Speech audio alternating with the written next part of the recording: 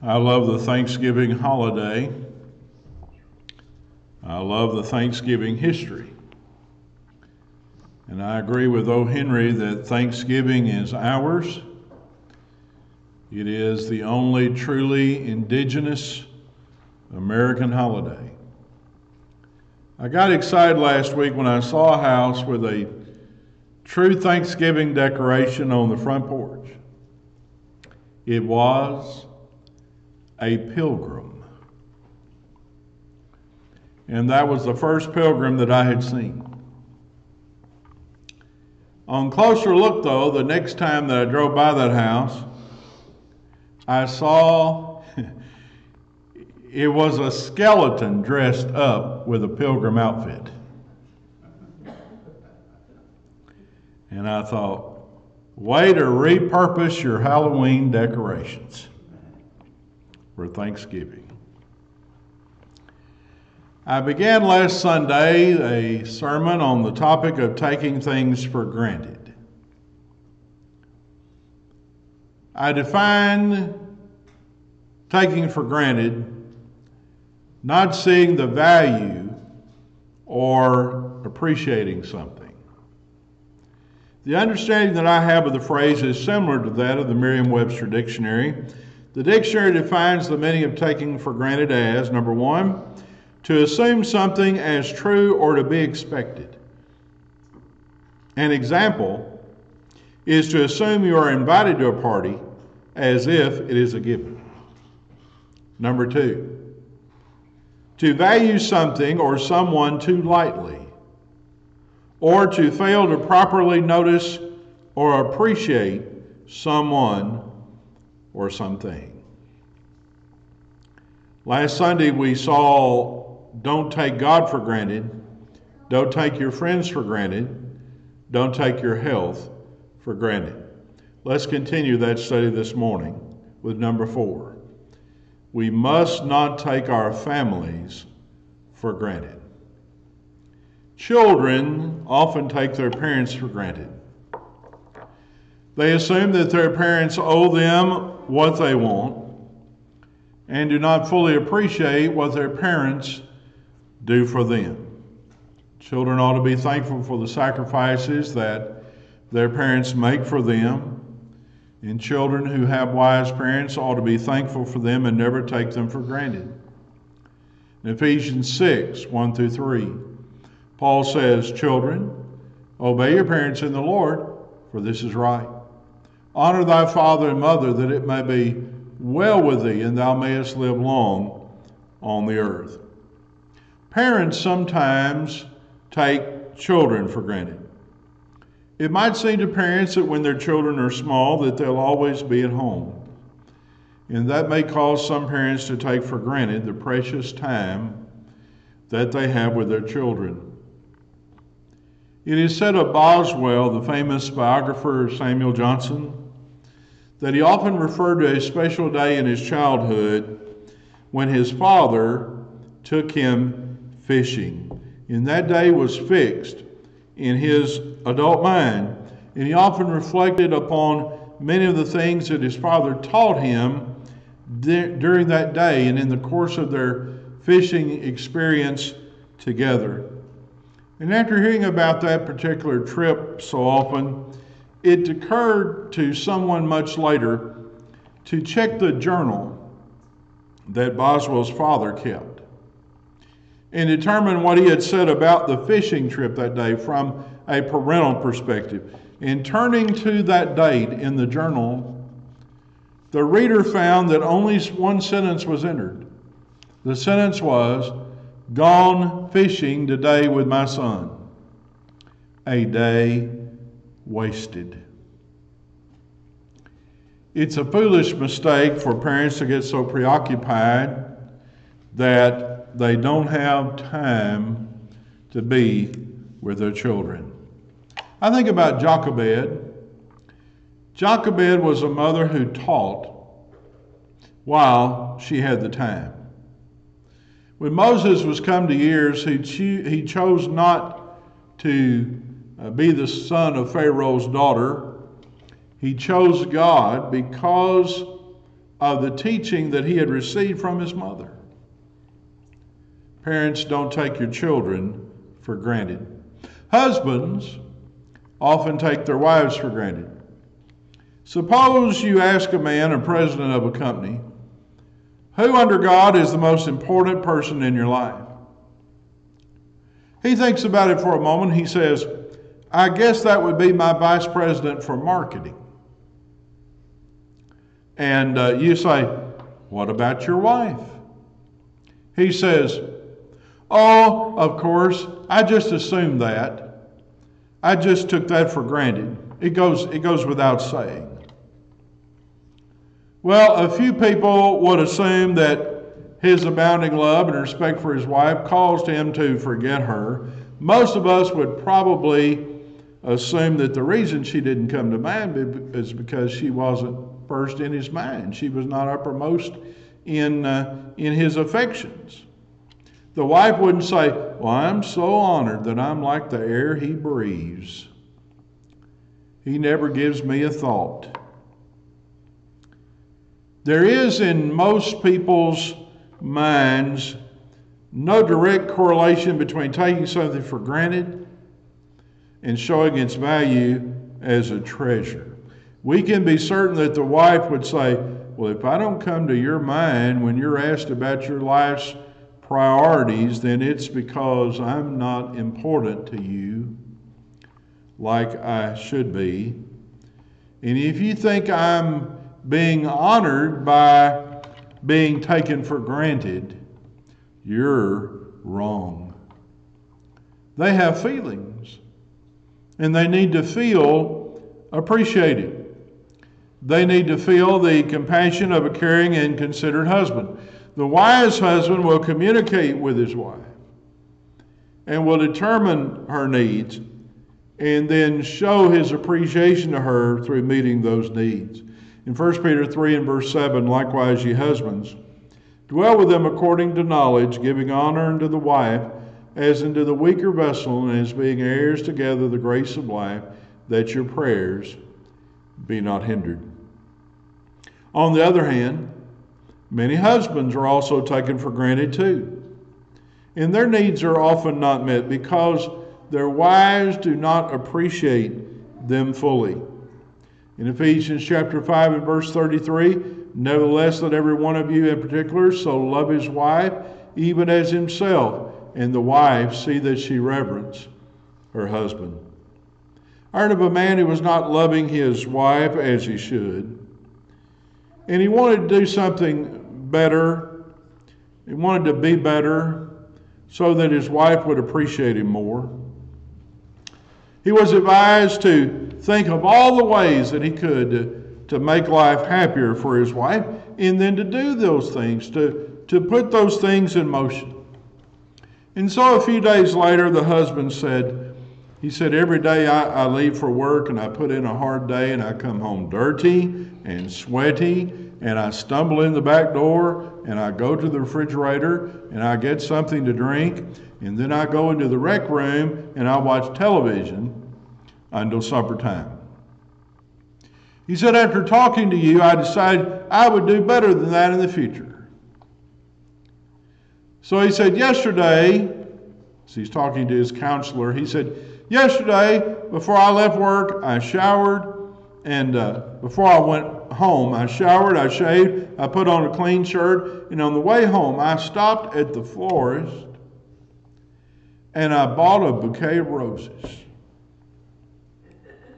And he said, instead of going to the, to the back door eh, of the house as I usually do, this day I went to the front door. And I rang the doorbell. And my wife came to the door and she took one look at me and she started to cry. And when I asked her what was wrong, she said, It's been a horrible day. First, Billy broke his leg. That was her son. Billy broke his leg and had to have it put in a cast. She said, I no longer returned home from the hospital that your mother called and told me she is coming to stay for three weeks. She wasn't too happy about that. Then she said, I tried to do the wash, and the washing machine broke. And there is water all over the basement. And then she said, And now you have come home drunk.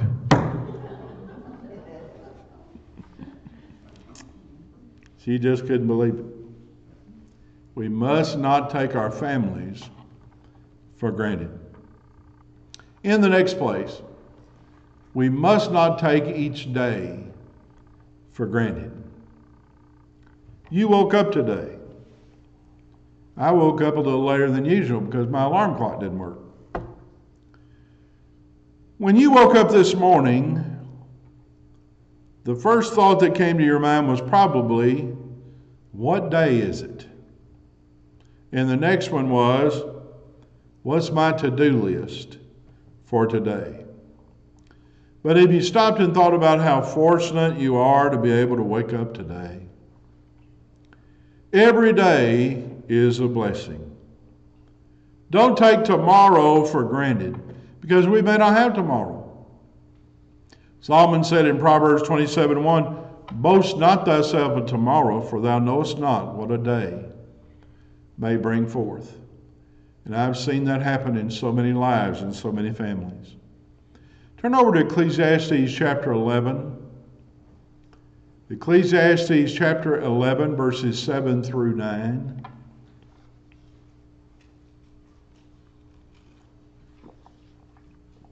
Ecclesiastes 11, 7.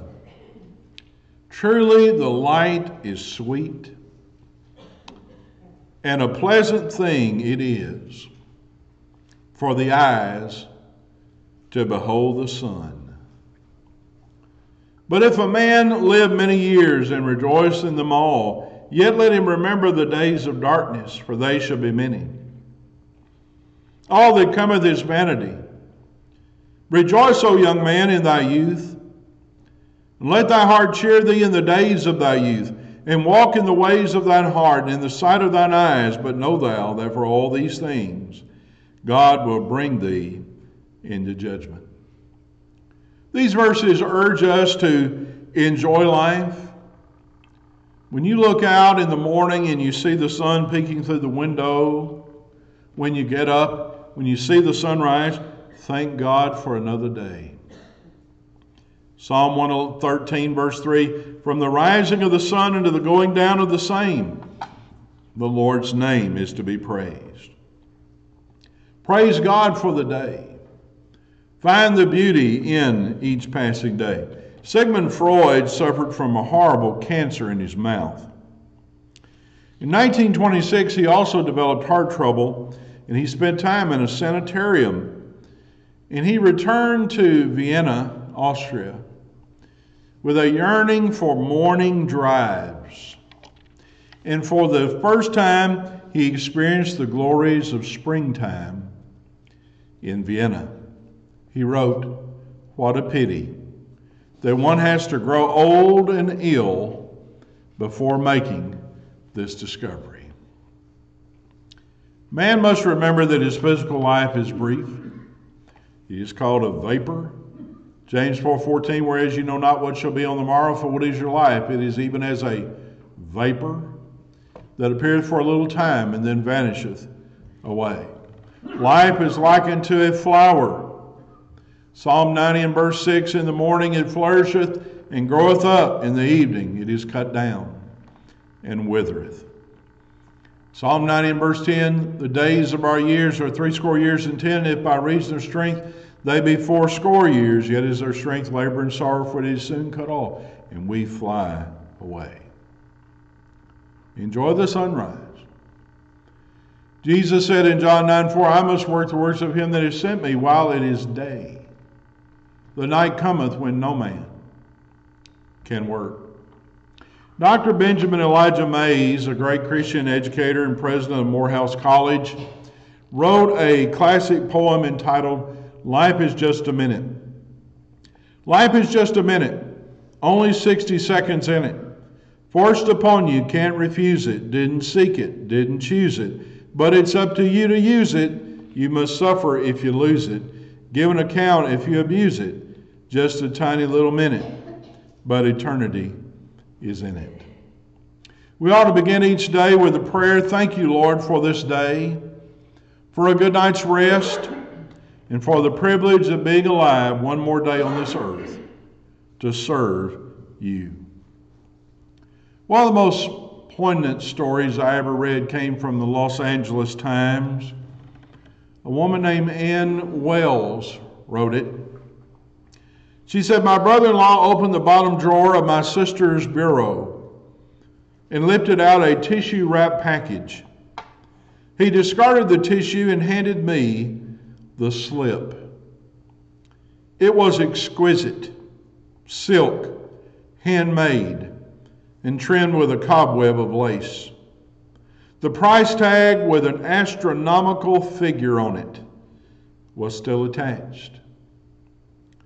Jan bought this the first time we went to New York at least eight or nine years ago. She never wore it. She was saving it for a special occasion. Well, I guess this is the occasion. He took the slip from me and put it on the bed with the other clothes we were taking to the mortician. His hands lingered on the soft material for a moment then he slammed the drawer shut and turned to me and said, Don't ever save anything for a special occasion. Every day you are alive is a special occasion. Isn't that a touching story? Every day is a special day to the Christian. Every opportunity to serve our Lord is important. We remember Paul's admonition in Colossians 4 and verse 5 walk in wisdom toward them that are without, redeeming the time. Next, we must not take the privilege of prayer for granted. You know, if there is one area of the Christian life upon which all of God's people could use some improvement, isn't it that of petitioning God in prayer? Why doesn't my child talk to me more often? Is without a doubt a continual question in the mind of God. Jesus taught his disciples both by precept and example to pray.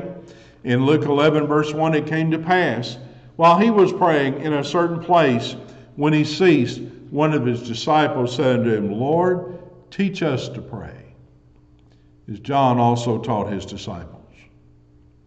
Prayer is a cry unto God.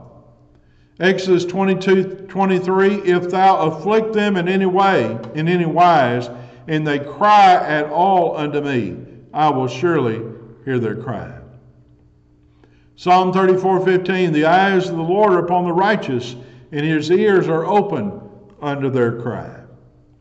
Prayer is described as a beseeching, 2 Corinthians 21, uh, 2 Kings 21 through 3, as a calling on God, Acts 7.59, a lifting up of the heart, Lamentations 3 4, a lifting up of the soul, Psalm 25 1, and a pouring out of the heart, Psalm 62 and verse 8.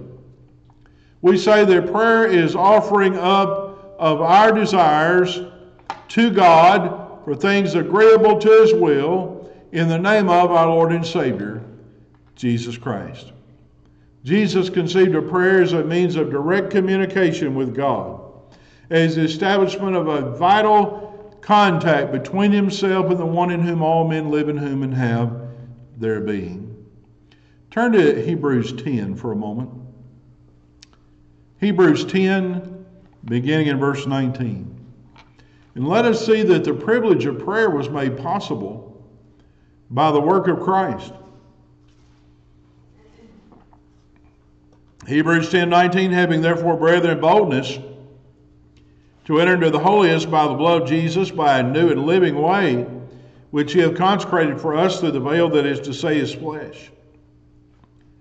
And having a high priest over the house of God, let us draw near with a true heart and full assurance of faith having our hearts sprinkled from an evil conscience and our bodies washed with pure water. We have direct access to God by the blood of Christ. And as a result, we have boldness to enter into the holiest by that very blood. While the descriptive terms for our Lord here in this passage is high priest, and the Latin term for priest there is pontifex, and that means bridge builder. There's been a gap.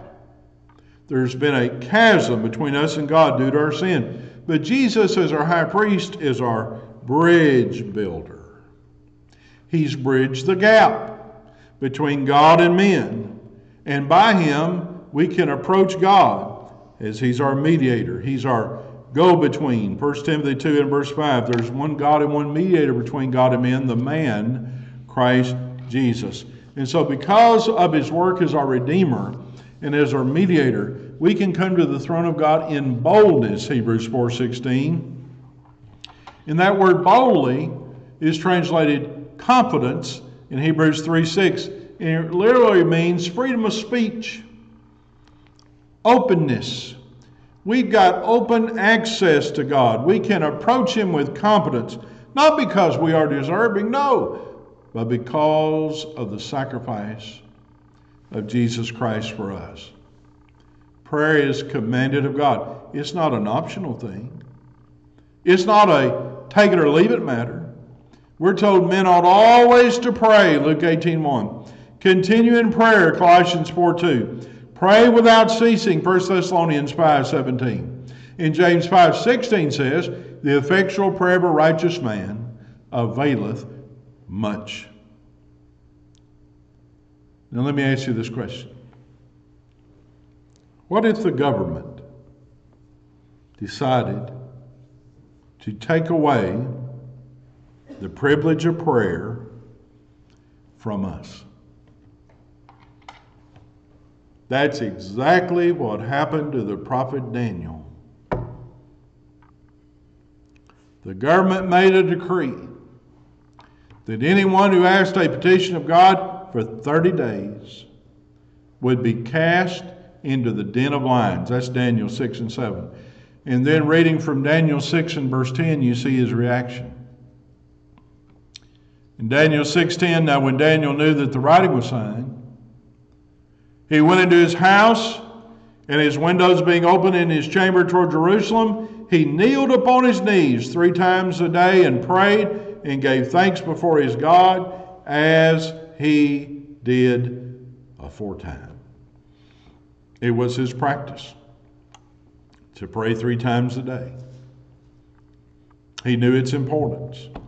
Even when it became illegal, he continued to pray knowing that he could receive the death penalty for it, knowing that he could be thrown in the den of lions for it. And he was. But like Daniel, we should never take prayer for granted. And then finally, we should not take heaven for granted. We're not going to reach heaven on the faith of our parents or the faith of our grandparents. J.D. Stripe wrote Faith is like a toothbrush. Every man should have one and use it regularly, but he shouldn't try to use someone else's. I cannot believe for somebody else. They cannot believe for me. Faith is not inherited, faith is based on conviction. That is why it is incumbent upon us to seek to instill faith in the hearts of family and friends by means of teaching. Paul said in 2 Timothy 1 5, When I call to remembrance the unfeigned faith that is in thee, which dwelt first in thy grandmother Lois and thy mother Eunice, and I am persuaded that in thee also. He was taught the truth from his childhood. And Paul would say to him in 2 Timothy 3.14, But continue thou in the things which thou hast heard of, and hast been assured of, knowing of whom thou hast learned them. He received the truth properly. He was to continue. He was to build on the foundation that had been laid in his childhood. It's very important that parents recognize the obligation to impart the truth and live it before their children. And it's important for children to recognize their obligation to receive it, to be assured of it, to know it, to obey it, and to live it out as they grow. But here's another thing we won't reach heaven on the sincerity of our actions either. Paul said in Acts 26 and 9, I barely thought with myself that I ought to do many things contrary to that of the name of Jesus of Nazareth.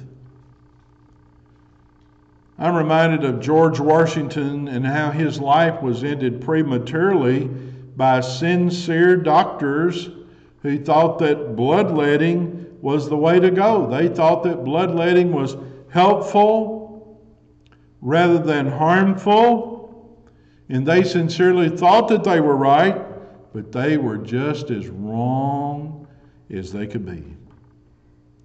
And then we won't reach heaven on the practice of the majority. Jesus said in Matthew 7 14, because straight is the gate and narrow is the way which leadeth unto life, and few there be that find it. And then we won't reach heaven based on our perceived goodness. Cornelius was of good report among all the Jews, Acts 10 22. And yet Cornelius needed to hear the gospel as a penitent believer and be baptized into Christ. We must not take heaven for granted and think it's going to be ours without the grace of God and the blood of Jesus. We're saved by grace through faith. He Ephesians 2 and verse 8.